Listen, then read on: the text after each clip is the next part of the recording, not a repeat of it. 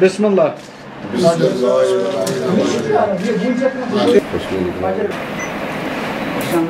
ہم نے central coordination committee اور کشمیر اکنامک الائنس نے جوائن کر کے نئے دفتر کا شروعات کیے اور آج ہم یہاں پر آ رہے ہیں۔ جو کچھ بھی کشمیر میں ہو رہا ہے کہیں کہیں بھی ہو رہا ہے، کسی بھی کی وجہ سے ہو رہا ہے جس سے ہمارے قوم کو صدمہ ہوا ہے۔ اس کے ساتھ ساتھ ہمارے جتنے بھی یہ اسلامی چینلز ہے ان کو بند کیا گیا۔ یہ کون سی انسانیت ہے؟ ان کو ایک دم اور آج سب کو مبارکباد دیتا ہوں۔ اور ایسے حالات میں آج نیا دفتر کھول دیا اور jointly we will work for the betterment of the people for the safeguard of the people لہذا کر کے ہم اس چیز کو بھی مذمت کرتے ہیں جو جموں والوں نے الزام لگایا ہمارے اوپر کشمیر کے ساتھ انصاف ہوتا ہے، جموں کے ساتھ جاتی ہوتی ہے۔ ہمارے ساتھ کشمیریوں کے ساتھ ہر روز نا انصافی ہوتی ہے۔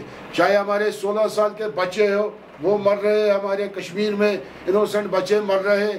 چاہے ڈیولپمنٹ کے حوالے سے ہو، چاہے ایجوکیشن سیکٹر کے حوالے سے ہو، چاہے ہیلتھ سیکٹر کے حوالے سے ہو، ہر ایک سیکٹر کے حوالے سے ہماری اوپر پچھلے پچیس سالوں سے ناانصافی ہو رہی ہے۔ کشمیر اکنامک الائنس آپ لوگوں کو پتہ ہے، آج ہم جوائنٹلی یہاں بیٹھے ہیں اور اس آفس میں ہم جوائنٹلی آئندہ سے کام کریں گے۔ چونکہ ہماری اس کشمیر اکنامک الائنس کے ساتھ بہت ساری تنظیمیں وابستہ ہیں۔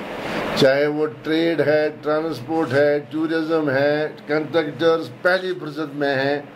لہذا ہمارے روز کے مسائل ہوتے ہیں۔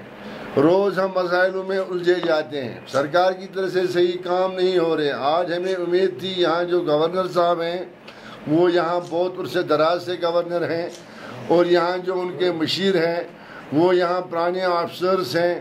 ان کو اچھا تجربہ ہے، مگر اس کے بھی کوئی کام نہیں ہو رہا ہے، جس کا ہمیں بہت افسوس ہے۔ اسلامی چلنوں کو پابندی لگائی گئی۔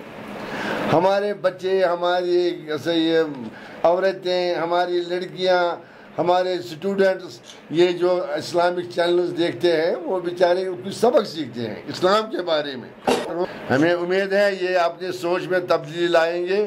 اور خاص کر کشمیر گورنمنٹ سے جو اس وقت سے گورننس ہے، اس کو میں ریکویسٹ کرتا ہوں، جو بھی ہمارے مسائل ہیں، وہ پوری طور حل کیے جائیں۔